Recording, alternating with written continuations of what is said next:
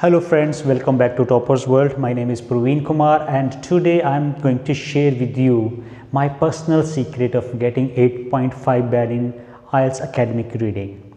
Friends, when I first time appeared in IELTS exam, at that time I was able to score only 5.5 in reading and that was really very embarrassing moment for me because I never uh, imagined that I would be able to get 5.5. I used to teach English in English medium school and I was having a, a, feeling that I would be able to crack IELTS in my first attempt and I would get uh, at least 8 band in IELTS reading.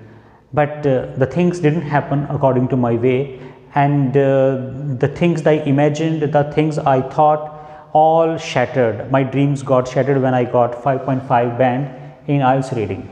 So, and there were a number of reasons why I got 5.5. I didn't practice I just overestimated my abilities and I thought that I have I, am English teacher and I can get 8 band or 9 band in my first attempt. So when I uh, got my result that was a really a moment of shame for me. I was in depression. I didn't tell my result to my friends. They were asking me again and again but I didn't dis disclose them. I told them that my test was postponed. So I lied to them but I knew the reality and the reality was that I got only 5.5 band. Then what I did later on that thing I am going to share with you how I uh, planned my strategies for improvement and uh, what ways I you know did my practice I am going to share with you now that. The first thing I did that I repented for some days. Some days I didn't go out, didn't talk to my friends and I was in grief in those days. And it was necessary because uh, your disappointments, your negativities would be finished only if you you repent. And I did the same. I didn't do anything, I didn't do any reading, I just spent one week on uh, criticizing myself, criticizing my abilities. And uh, uh I uh, just punished myself for not able to being clear the exam. After that I took a decision that was a hard decision for me. I decided that I should study daily one hour and I spent daily one hour on reading. I especially focused on reading passage 1. Reading passage 1 usually are easy passages but I was not able to get all answers from the reading passage 1. I was able to just only uh, 7 or 8 out of uh, 13 questions and that was a, a big weakness on my part. So I decided to focus totally on reading passage 1 and for a couple of weeks I totally did reading passage 1 of different tests and the result was that after 2 weeks I was capable enough to do all the 13 questions correct.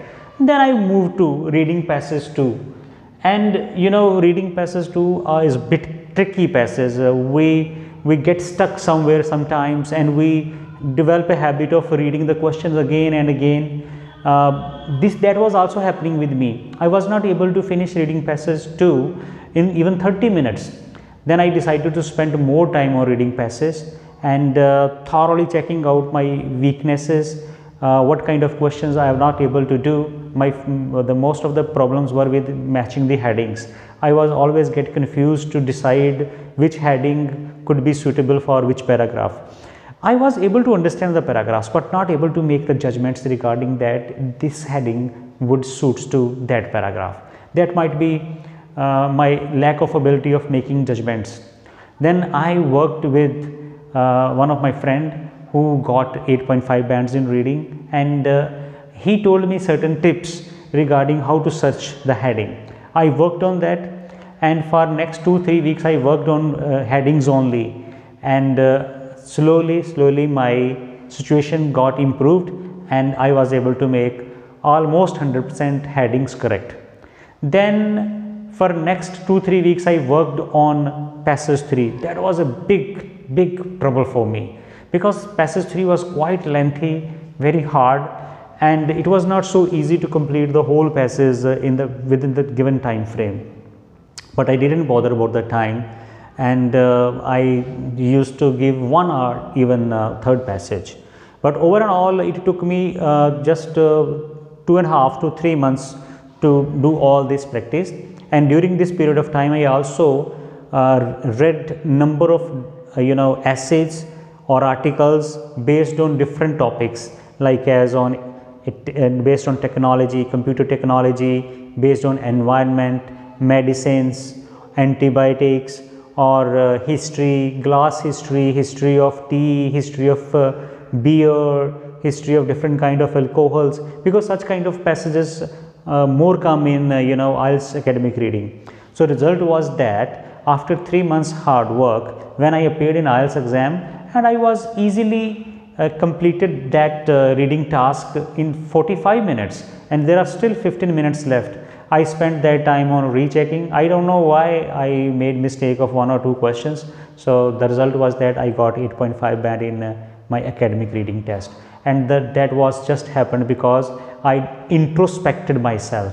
I self analyzed myself and tried to find out where I do the mistakes and I overcome that mistakes. I took the help of my uh, one of the friend who is very good in English and uh, I did not hesitate even uh, uh, despite the fact that uh, I was English teacher I used to make a lot of mistakes.